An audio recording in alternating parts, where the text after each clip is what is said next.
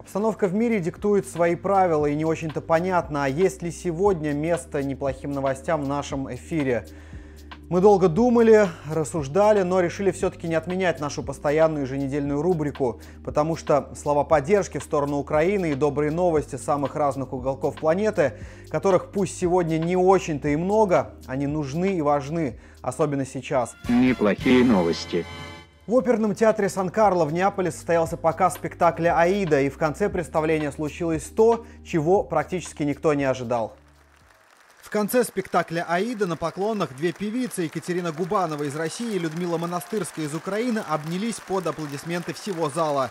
Это символический, но чрезвычайно значимый жест послания о мире, которому мы все присоединяемся, говорится в официальном сообщении на Facebook у театра Сан-Карло. Этот пост собрал тысячи лайков от пользователей соцсетей.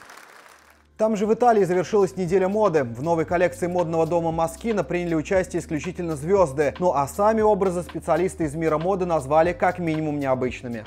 Креативным директором Маскина является Джереми Скотт. Как известно, он очень любит удивлять публику. Новая коллекция 2022 года посвящена сказкам. Модели на подиуме в Милане превратились в персонажей из произведений «Красавица и чудовища». На показе в центре итальянской столицы был замечен известный футболист туринского Ювентуса и сборной Аргентины Пауло Дибала. Уже не раз звучало, что Пауло хочет стать фэшн-иконой, и это у него, судя по всему, получается. Cercando di capire no, tutto quello che significa la moda, come si lavora. Per il mio lavoro è un po' difficile assistere a questi eventi, però mi fa piacere poter essere qui, accompagnare anche la mia ragazza. На неделе моды в Милане известные люди присутствовали на различных показах.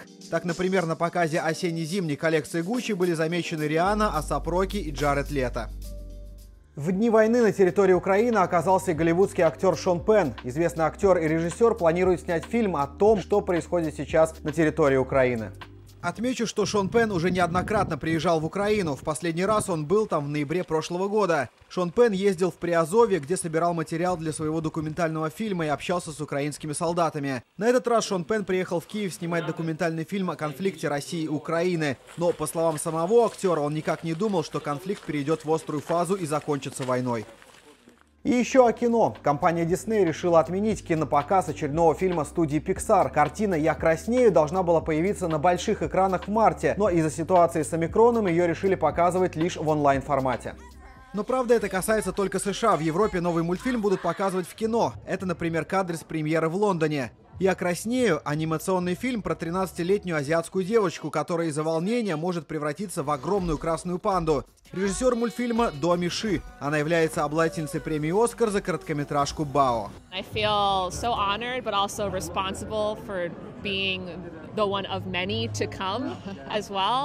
Um, yeah, it's just a really exciting time at the studio. I'm really just so grateful that Pixar just was able to get behind this film and they were so supportive of this film and the crew. Примечательно, что «Я краснею» — это первый фильм студии Pixar, снятый женщиной. При этом основная часть съемочной группы также стоит только из женщин, а актерский состав во главе с азиатами. В мировой прокат вышел новый фильм «Гонка со временем». В новом триллере героиня пытается спасти своего сына. Фильм уже получил массу хвалебных отзывов. Режиссер фильма «Гонка со временем» — опытнейший мастер триллеров Филипп Нойс, а в главной роли двукратная номинантка на премию «Оскар» Наоми Уотс. Мировые кинокритики уже высоко оценили работу актрисы в новой картине. Они назвали ее актерскую работу игрой на пределе эмоций. I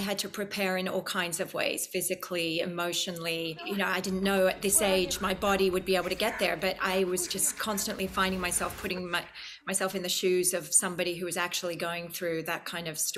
Главная героиня, совершая ежедневную пробежку по парку, узнает, что ее сын находится в заложниках у стрелка, захватившего школу. Ей предстоит пробежать много миль, устроив гонку со временем, прежде чем она попадет в самый эпицентр событий. А для спасения всей ситуации у героини Наоми Уотс есть только мобильный телефон. Латвийский кинопрокат фильм «Гонка со временем» выйдет этой весной. Очень много стран и очень много людей выражают слова поддержки Украине и выступают против войны. Свое слово сказали и известные в Латвии поэты и писатели. Teikt. Это акция «Поэзия за мир». Именно так ее назвали местные поэты и литераторы. В течение целого дня они находились напротив посольства России в Риге и читали стихи о мире. Man liekas, ka tā dzēnieki un literāti ir tā grupa, kura spēj izteikties, bet bieži mēs esam diezgan varbūt klusi un uz iekšu vērsti. Ja manā dzimtenē jūs kādreiz būsiet, tad lūdzu visiem pasakiet, Līdz mājām pietrūka man tikai dažu soļu. Es domāju, ka tādam brīvam vārdam ir ļoti liela nozīme. Protams, ka varbūt tas ir šajā brīdī piliens jūrā, bet tas vismaz ir kaut kas ir izdarīts.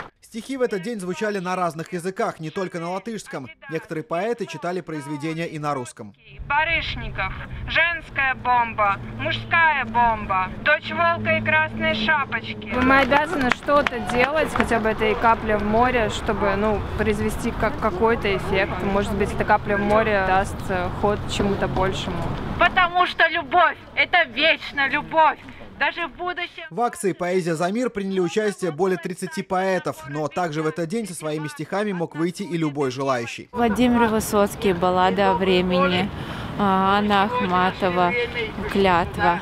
И последнее было мое стихотворение, которое я написала на латышском, хотя бы чтобы высказать просто свое чувство и последнее впечатление о мире. И может быть не все еще потеряно, может быть мир еще не потерян. С очень большой надеждой. В этом году национальному радио Куба исполнится 100 лет. Оно до сих пор остается очень популярным на острове Свободы, даже несмотря на растущий спрос на ограниченный интернет и телевидение. Куба была пионером в развитии латиноамериканского радио после Аргентины и Мексики. Кубинская телефонная компания передала первые сигналы 10 октября 1922 года. Сначала тут транслировались музыкальные программы и концерты, ну а затем появилась реклама как форма заработка, а потом пришло время новостных репортажей. te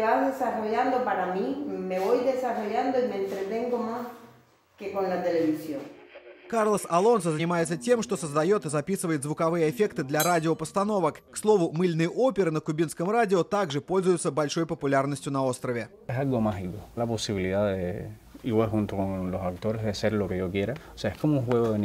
Значительные изменения коснулись кубинского радио в начале 60-х. После победы революции во главе с лидером Фиделем Кастро все радиостанции были национализированы. На данный момент законодательство Кубы запрещает создание частных радиостанций. Соревнование по триатлону серии Ironman или же Железный человек является одним из самых тяжелых видов спорта на выносливость. На Ближнем Востоке к такой проверке на прочность пытаются привлечь и женщин со всех стран мира. Это Оман и ее столица Маскат. Одно из самых важных спортивных событий года там это чемпионат Iron Woman. Проверка на прочность состоит из трех видов спорта – плавание в открытой воде, велоспорт и бег. Кроме того, здесь же в Омане организовали и первые соревнования Iron Child за звание железного ребенка. Good. I'm like super proud of him. It's his first time he's ever done a race. As a family, we like to cycle and like to run and like to swim. So we're hoping that maybe in the future he might start to do some sports like that as well. Если в соревнованиях за звание железной женщины участницам предстояло пройти все три этапа триатлона, то дети ограничились только забегом на несколько километров. В состязаниях по триатлону на Ближнем Востоке приняли участие спортсмены-любители из семи стран мира. После двухлетнего перерыва в связи с ситуацией с коронавирусом в Латвию возвратился международный конкурс молодых талантов классической музыки «Звезды 21 века». Мне удалось побывать на гала-концерте в последний день конкурса. Талантливые дети и подростки со всего мира приняли участие в ежегодном конкурсе «Звезды 21 века». До второго тура и сотни изъявивших желание бороться за победу добрались только 40 лучших из лучших в своих номинациях и возрастных группах. И только 10 лауреатов конкурса удостоились чести принять участие в гала-концерте. Ну, изначально я занималась этим как, как хобби, а потом мне очень понравилось звучание. Это не альт, где можно только низкие ноты играть. На скрипке можно играть высокие и низкие ноты. У нее очень красивое звучание. Триумфаторы в номинациях «Классическая музыка» и «Академический вокал» имеют шансы быть приглашенными к участию на Всемирном чемпионате исполнительских видов искусств в Голливуде, а также на других конкурсах за пределами Латвии.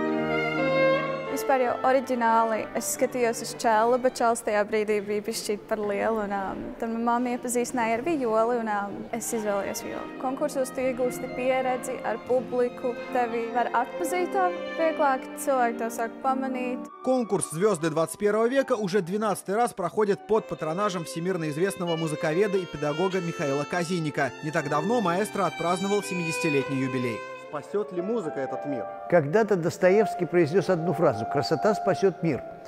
И вот, знаете, многие усомнились, в том числе и Рерих. Рерих исправил эту фразу. Он сказал «Осознание красоты спасет мир», в том числе осознание великой музыки. И сегодня это все. Встречаемся через неделю. До свидания.